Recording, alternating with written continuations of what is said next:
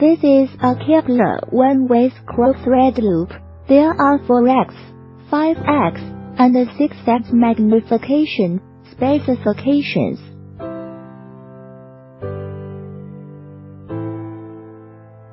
Tighten the elastic band. Adjust the angle of the joint until you see a clear magnified image. There are pupil distance adjustment knobs on the two sides. Pupil distance is from 53 mm to 63 mm.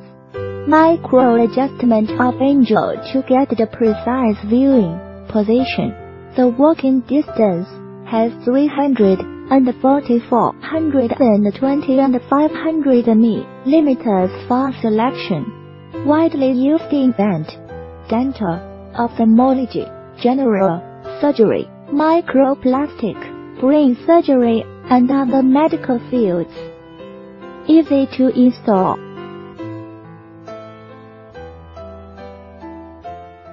Can be used with headlight.